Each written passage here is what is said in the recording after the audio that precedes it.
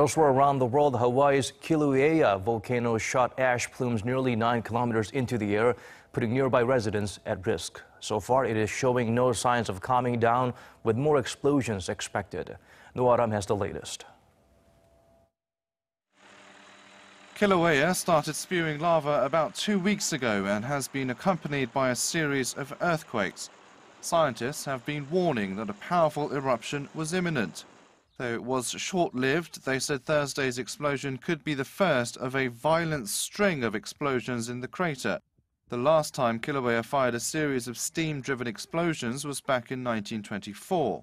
In, in, my mind, what we saw today, you know, this cloud up to 30,000 feet above sea level, that's consistent with what we were expecting.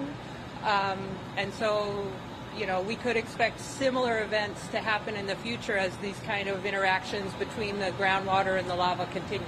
Uh, we're still watching things real closely. We may have additional larger events, more powerful events, kind of like what we saw earlier this morning. Residents living near Kilauea have been told to stay indoors to avoid the ash, and pilots are being advised to avoid the area for fear of damage to engines.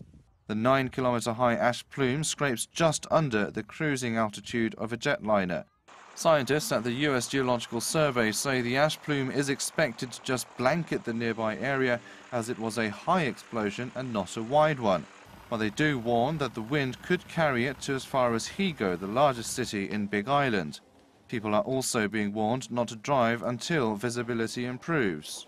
The ash and hot lava, which has already wrecked about a couple dozen homes, are not the only problems.